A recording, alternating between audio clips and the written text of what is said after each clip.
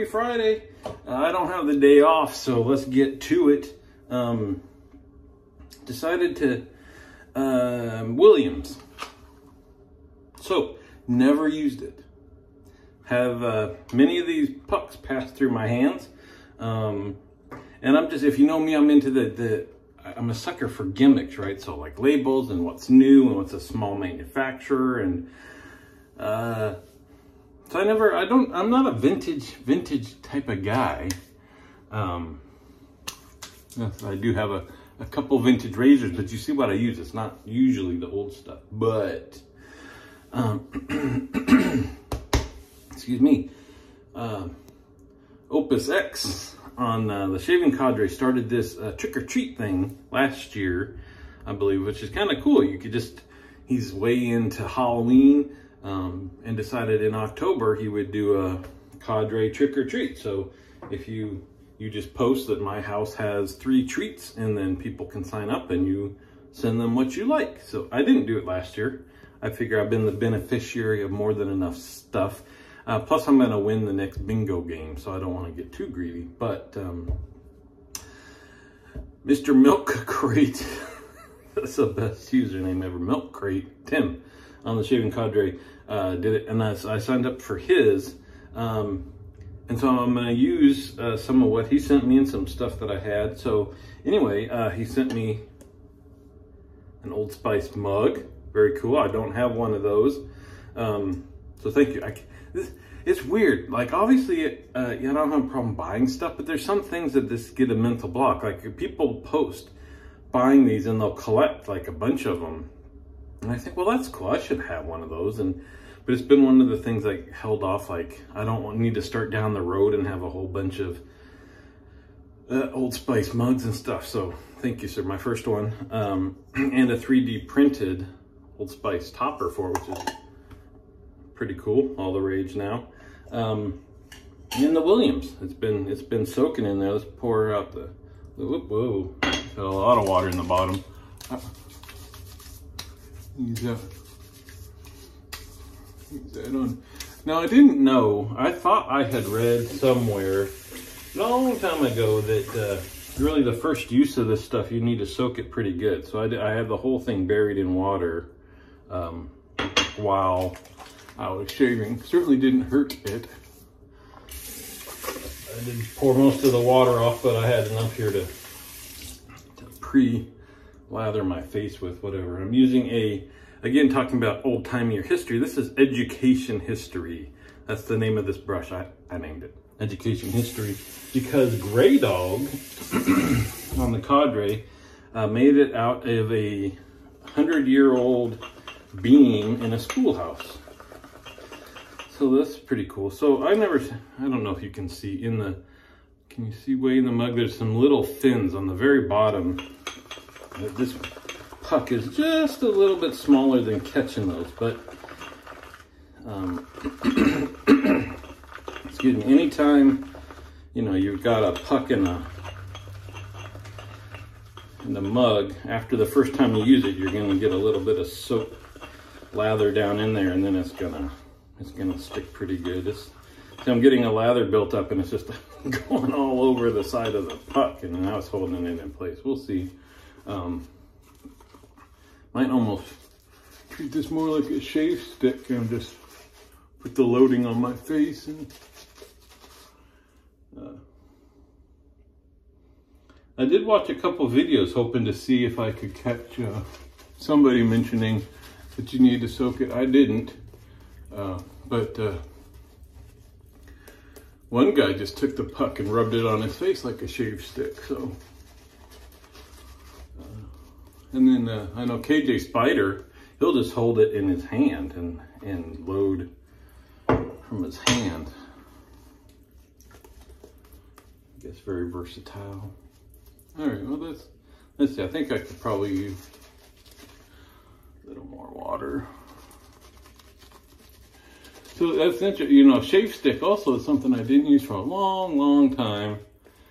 Um, and somebody sent me, I still don't buy them. I don't know why. There's stuff like that that uh, when I use it, I think, well, this is really efficient. You don't need a bowl. lathers pretty well. I do enjoy face lathering. Um, but I don't know. I don't know. A lot of soaps don't come in a shave stick. I guess it's part of it. So he also sent me this Super Speed, which I've loaded up with a Wizamet blade. It's the first time using this baby. Hmm. Pretty good. It's a noisy one. And if I had Major Rich's mic on, you could have to turn down your volume. Pretty good shave though. You didn't. He didn't remember the date code, so I guess I need to get out my phone and try to zoom in and take a picture so I know what year this guy is from.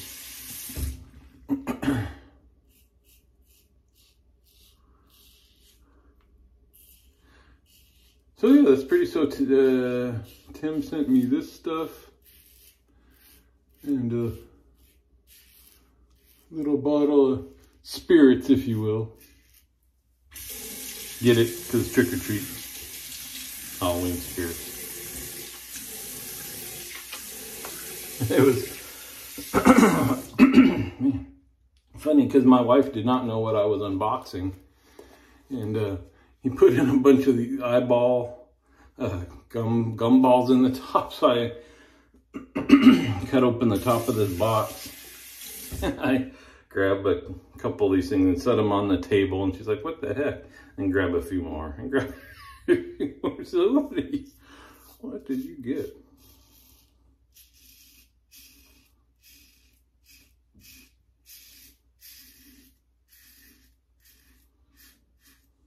So thank you, Tim. Very cool. Very cool. So this stuff is pretty slick, actually. I mean, it doesn't, I guess that's the thing is like, uh, you know, back in the day. So one of the videos, I'm sure I'll get the date wrong, said that this soap has been produced. I know they've changed the formula over the years, but since 1840 or something. It was just discontinued like last year or something. So thankfully, I think KJ owns about half of the world supply of it, so he'll be okay.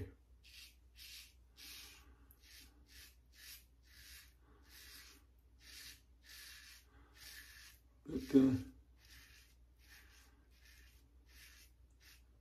I don't know. It's, it's, a, it's a good addition. Just change things up. Something new in the day. Um, so speaking of, wow, put some water on it and that's really slick. I think I could, I could do this last pass without even lathering again. Um, so I think I'll probably have more lather the next time. I mean, if I wasn't, there's all sorts of lather, like I said, around the edge of this puck. So probably the next time I lather it, I'll end up with more on the brush, but doesn't need it. Super slick as it is. Um, if there's a bingo game, pardon me, it's just morning crud. Man, I wish I was kind of sick. I could stay home. I just want to stay home, man. Um, an interesting bingo game actually I think uh, it'll be a lot of fun. Uh, where we, it's like uh, playing uh, Battleship.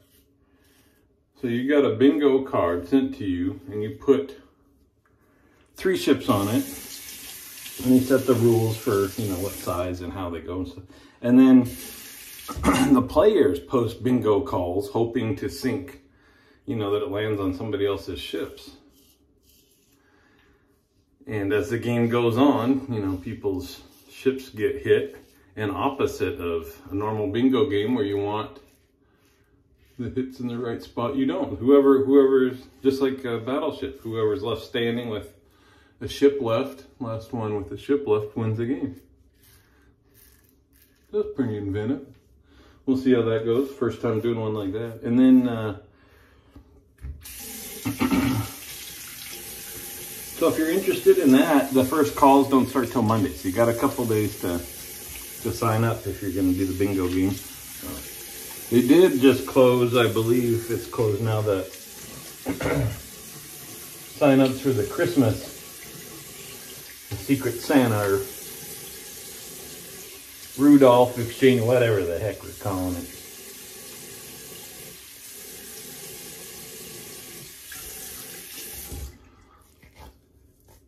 Somehow I think Barbara Dave will rig it so I have him again. Last year I sent him this cool uh, custom-made wood sign. he used to have on his wall, but then they went and changed the logo. So he needs a new sign. Oh man, I wouldn't. I, it's fine. I wouldn't do it, but I just had a thought it'd be hilarious to have one that's like kind of looks like something that would be in the the candy store. Or even do like this. It'd be like Hombres and then like two little women like you know pushed up against the sign with their little. oh, that'd be funny. He wouldn't use it. Funny though.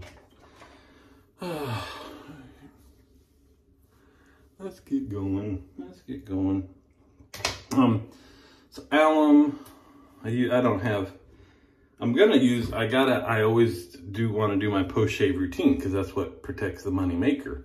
But um, on the Williams mug package, I think it's on this flap. I don't have my glass on, but it says to use Aqua Velva. Can I hold it far away? Aqua Velva aftershave lotion. And I just I heard on the two videos, they're reading the packages and, and talking about using Aquavel. They didn't mention the lotion part. I'm like, oh, hey, I got some of that. I think this one, man, sometimes I feel bad because I don't have a good remember. And folks on the cadre are super nice. So sometimes I forget where stuff comes from and then you feel bad about that. I was gonna, my old timey shave, I've got this uh, V's Barbershop Tonic that uh, somehow was in a PIF box or something. Um, I don't use it very often, but to me, this is like old-timey barbershop smell. My wife doesn't like it though, but I think Rich sent me this Aqua Velva Original Sport. And apparently this was, I don't know if it's discontinued or just hard to find or something like that. Um, but, so it's not Aqua Velva lotion, but I figure this goes along with the old-timey shave and like they say, it does remind you of your grandpa shaving or, what have you. I was gonna, I was gonna put this. Oh, is there pine in there? Is that? Is this supposed to be like sport? Like, uh, there's no mountains on here. Expect. Oh no, vetiver. It's kind of sharp, dude. Kind of sharp. Oh, you know what I forgot? Well, sorry.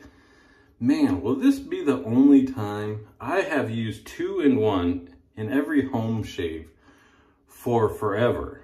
But I think we flew right past that. So per the contract, this guy, this guy doesn't get a plug this time. Sorry, buddy. Um, vetiver, vetiver, vetiver. We need something that's going to stink through the day, though. You don't want any, uh, so vetiver Fatal uh, Atelier Cologne. That should, that should be a good match for a Aqua Velva Sport. That's what I'm saying. Alrighty. There we go.